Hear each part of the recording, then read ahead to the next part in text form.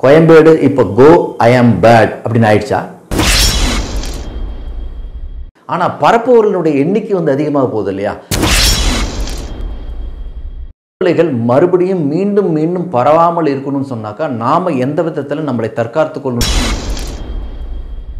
தமிழகத்தினுடைய கொரோனா பாதிக்கப்பட்டவர் எண்ணிக்கை இப்போ தற்போது அஹ், ரொம்ப அதிகமாக இருக்கு. இதுக்கு முக்கியமான காரணம் கோயம்பேடு. கோயம்பேடு இப்போ கோ ஐ ஆம் பேட் அப்படின்னு ஆயிடுச்சா? இதை பற்றி தான் நம்ம பேச போகிறோம் நான் உங்கள் இனியவன் இளங்கோவன்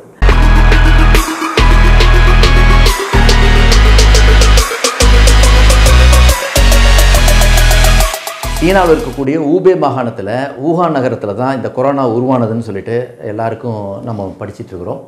ஆனால் இப்போ என்ன பிரச்சனை அப்படின்னாக்கா ஊகான் மாகாணத்தில் குறிப்பிட்ட அந்த சந்தையில் வவ்வால் மூலமாகவோ அல்லது எறும்புத்தினி மூலமாகவோ ஏதோ வழியாக இந்த கொரோனா உருவாயிடுச்சு.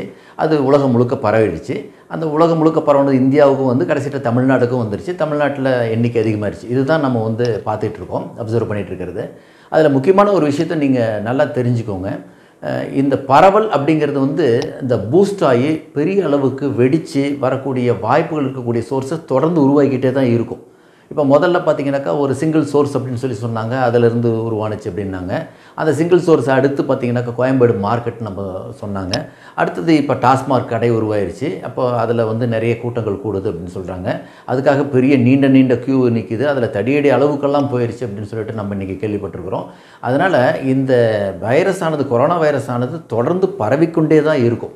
இப்போ கோயம்பேடு மார்க்கெட்டை வந்து அங்கேருந்து திருமழிசை மாற்ற போகிறாங்க ஸோ இதில் பேசிக் கான்செப்ட் என்ன அப்படின்னாக்கா இந்த மாதிரி மாற்றினாலும் தொடர்ந்து இப்போ நம்ம எல்லா பகுதிகளிலும் பார்த்தீங்கன்னாக்கா எல்லா பஸ் ஸ்டாண்டும் இப்போ மார்க்கெட்டாக தான் செயல்பட்டுருக்கு ஆனால் பதினெட்டாம் தேதியிலேருந்து இந்த எல்லா பஸ் ஸ்டாண்ட்லேயும் பஸ்கள் வந்து ஐம்பது சதவீத பயணிகளோடு போகலாம் அப்படின்னு சொல்லி சொல்லிட்டாங்க.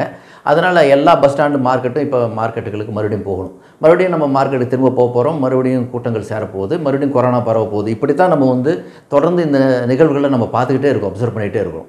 இதில் இருந்து நம்ம என்ன நம்ம கற்றுக்கணும் அப்படின்னு சொன்னாக்கா இந்த சூழ்நிலைகள் மறுபடியும் மீண்டும் மீண்டும் பரவாமல் இருக்கணும்னு சொன்னாக்கா நாம் எந்த விதத்தில் நம்மளை தற்காத்து கொள்ளணும் அப்படிங்கிறத முதல்ல எல்லாரும் புரிஞ்சுக்கிட்டோம் அப்படின்னா ஈவன் அந்த கோயம்பேடு மார்க்கெட்டினுடைய பிரச்சனையோ அல்லது பின்னாடி வந்த எல்லோ எல்லா பரவல் விஷயங்களையும் நம்ம தடுத்திருக்க முடியும்.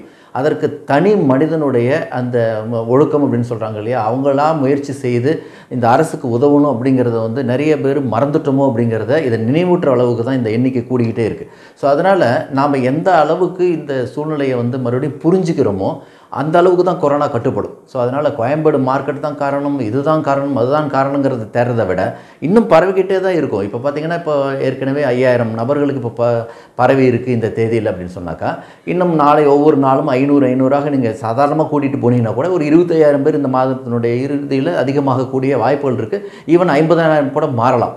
ஆனால் நான் ஏற்கனவே உங்களுக்கு நம்பிக்கூட்டுற மாதிரி ஒன்று சொல்லியிருக்கேன். ஒரு லட்சத்தை நாம் தமிழகத்தினுடைய கொரோனா எண்ணிக்கை ஒரு லட்சத்தை எட்டுதாக வச்சுக்கிட்டா கூட அதில் பாதிக்கப்பட்டவர் எண்ணிக்கை ஒரு சதவீதமாக இருக்க போகுது அல்லது மேக்ஸிமம் பார்த்தீங்கன்னாக்கா அதில் நான் சொன்ன மாதிரி இப்போ இருக்கக்கூடிய சதவீதத்தை எடுத்து பார்த்தா கூட ஐயாயிரம் பேர் மொத்தம் வந்து பாதிக்கப்பட்டவர்கள் எண்ணிக்கையும் வைத்துக்கோங்க. அதில் வந்து மேக்ஸிமம் வந்து தொண்ணூத்தெட்டு சதவீதத்துக்கு பாதிப்பு இல்லாமல் போயிடுது. ஆனால் பரப்புவர்களுடைய எண்ணிக்கை வந்து அதிகமாக போகுது இல்லையா? அதை தடுக்கணும். நான் அதை தான் இதை இந்த வீடியோவில் சொல்ல விரும்புகிறேன் நீங்கள் மார்க்கெட் ஆகட்டும் அல்லது பெரிய அளவுக்கு இருக்கக்கூடிய கூட்டம் சேரக்கூடிய இடங்களாகட்டும் எல்லாத்துலேயும் நீங்கள் தான் வந்து ஜாக்கிரதையாக இருந்துக்கணும். அரசு ஓரளவுக்கு மட்டுமே முயற்சித்து உங்களை வந்து எல்லாத்தையும் பழக்கி வச்சிருச்சு. ஸோ அதனால் இந்த ஐம்பது நாள் ஐம்பத்தி நாட்கள் நாட்கள் வந்து நீங்கள் பழகிட்டீங்க அந்த சூழ்நிலையை. இன்னும் இதை எப்படி வந்து பரவாமல் தடுப்பதற்கு உங்களால் முடியுமோ அந்த பங்களிப்பை நீங்கள் செய்யணும். ஸோ அதுதான் முக்கியமே ஒழிய இந்த அரசு எல்லாம் செய்யும் எல்லாம் செய்யும் சொல்லிட்டு நாமளே அதை எதிர்பார்த்து இருக்கிறத விட நாம் நம்மளை மாற்றிக்குவோம் ஸோ அதை வந்து செய்தால் நிச்சயமாக இந்த கொரோனாவை வந்து எவ்வளோ சீக்கிரம் நம்ம அனுப்ப முடியுமோ வெளியில் அனுப்பிச்சிடலாம்.